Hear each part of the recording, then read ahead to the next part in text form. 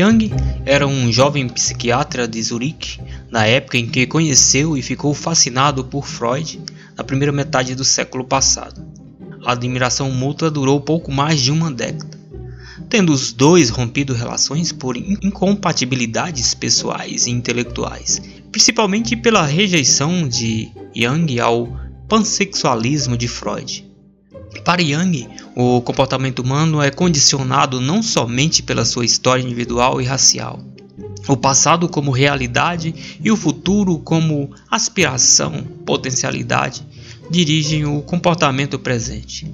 O indivíduo vive para os alvos, assim como pelas causas. Ego ou mente consciente é o responsável por nossos sentimentos de identidade e continuidade, e do ponto de vista da própria pessoa é encarado como sendo o centro da personalidade. O budismo procura justamente aniquilar o ego, essa falsa percepção de identidade. O ego não foi produzido pela natureza para seguir ilimitadamente os seus próprios impulsos arbitrários, e sim para ajudar a realizar verdadeiramente a totalidade da psique, a estrutura mental e psíquica de um indivíduo. Young a considera equivalente ao self, que é a personalidade total. Se, por exemplo, possuo algum dom artístico de que meu ego não está consciente, esse talento não se desenvolve e é como se fora de forma inexistente.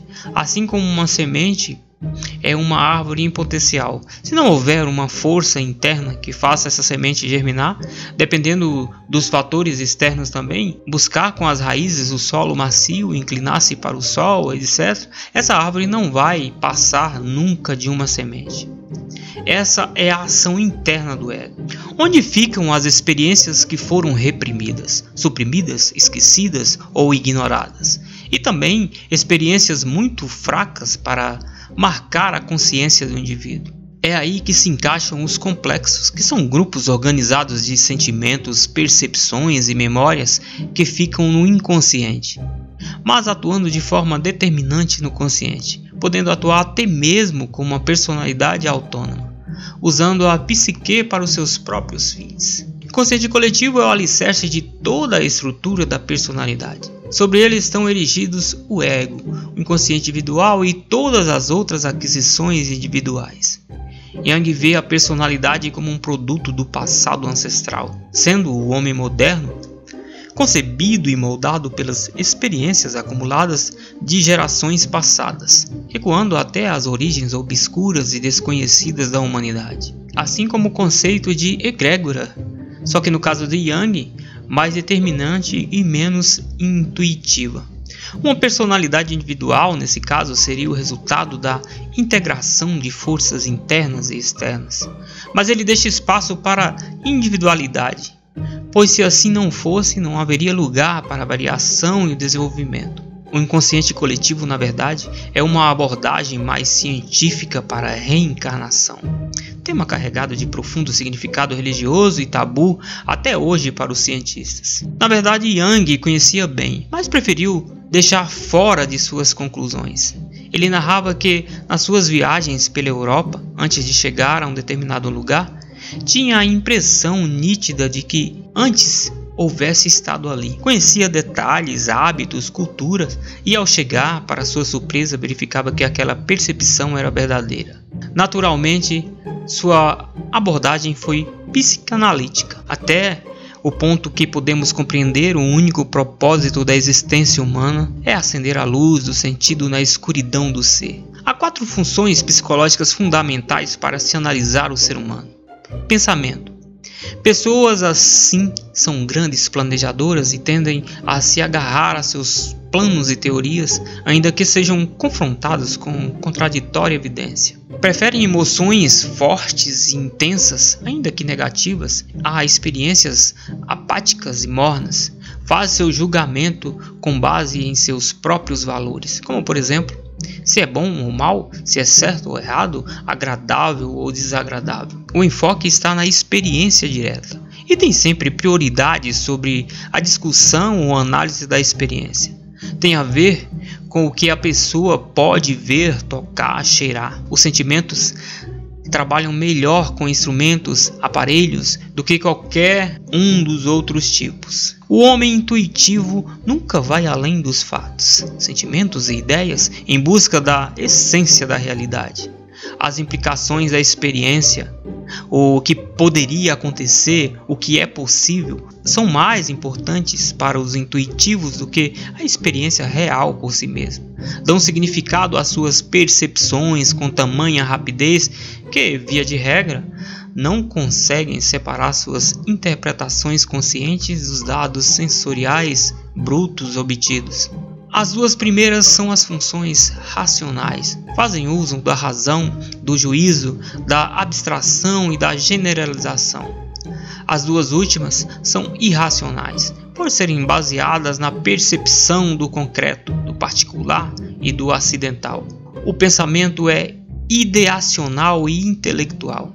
O sentimento mede o valor das coisas para o sujeito. A sensação é a percepção da realidade, traz fatos concretos ou representações do mundo. A intuição é a percepção por meio de processos inconscientes e conteúdos subliminares. Embora todo mundo tenha as quatro funções, elas não são desenvolvidas em sua totalidade. Geralmente, uma delas é predominante na consciência e é chamada de função superior. E uma entre as três restantes pode agir como auxiliar na função superior. Em caso de pane da principal, entra automaticamente em cena a outra. A menos usada das quatro é a chamada função interior, que fica reprimida, relegada ao mais profundo do inconsciente. Se todas as funções pudessem ser igualmente fortes no consciente e harmonizadas, como se dispostas na borda de um ciclo, o centro desse círculo seria o self realizado plenamente. É o núcleo, mas também é toda a esfera. O problema é que nem sempre acessamos esse núcleo, mas não fique pensando que é um ponto localizável na alma humana. Estou falando com o self porque ele é um conjunto que define o ser humano como um todo. O ser humano também é uma coletividade em seu meio, por forma do inconsciente coletivo. A abordagem do self vem de encontro à filosofia Zen, quando diz: se o Zen budismo considerado importante expressasse aquilo apoiado no uso da terminologia poderia fazer do seguinte modo: o centro do ser situa-se além da multiplicidade, da identidade diversidade, e no entanto não se situa além delas. E como situar-se além e não além disto é igualmente uma contradição. Quem deseja saber o que ele é deve percorrer o caminho Zen. Caminho Zen, Nicolau de Cusa, monge filosófico do século XV, já usara imagem semelhante ao refletir a onisciência divina. Deus é uma esfera cujo centro está em toda parte e cuja circunferência não se delimita a parte alguma. O self é o objetivo da vida, um alvo pelo qual as pessoas sempre lutam, mas que raramente atingem. Os arquetipos dessa realização são Jesus e Buda, meus heróis, meus heróis. O self pode ser definido como um fator de orientação íntima. Yang o compara a Diamon, ou gênio que hoje chamamos de guia espiritual ou anjo de guarda, seja ele interior ou exterior a você. O self é o ponto central da personalidade, em torno do qual giram todos os outros sistemas. Ele sustenta a união desses sistemas e fornece unidade, equilíbrio e estabilidade à personalidade. Antes de o self emergir, é necessário que os vários componentes da personalidade se desenvolvam plenamente. Por essa razão, o arquetipo do self não se torna evidente até que o indivíduo tenha atingido a idade madura. Nessa época, ele procura deslocar-se do ego consciente para um ponto a meio caminho entre o consciente e o inconsciente. Manter-se nessa região intermediária constitui-se o domínio do self. Qualquer semelhança com o caminho do meio de Buda não é coincidência. Não posso lhe dizer como é um homem que goza de completa autorrealização. Nunca vi nenhum. Young descobriu que cada indivíduo pode ser caracterizado como sendo primeiramente orientado para o seu interior, ou para o seu exterior, sendo que a energia dos introvertidos se dirige em direção ao mundo interno, enquanto a energia dos extrovertidos é mais focalizada no mundo externo. Entretanto, ninguém é totalmente introvertido ou extrovertido. Darwin, por exemplo, era predominantemente extrovertido, enquanto Kant era introvertido por excelência. O ideal para o ser humano é ser flexível, capaz de adotar qualquer uma dessas atitudes quando for apropriado e operar em equilíbrio entre as duas qualidades. O pêndulo da mente se alterna entre perceber e não perceber, e não entre certo e errado.